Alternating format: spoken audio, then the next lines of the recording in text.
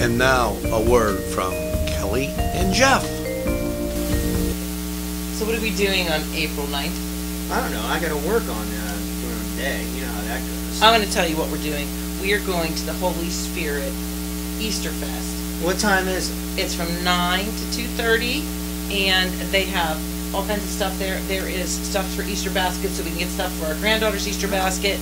We are going to um, get some crafts. I love their crafts, and I need a new handmade palm cross. Do they have Polish foods at this place? You know, I got to have Polish food. I know you always have to eat.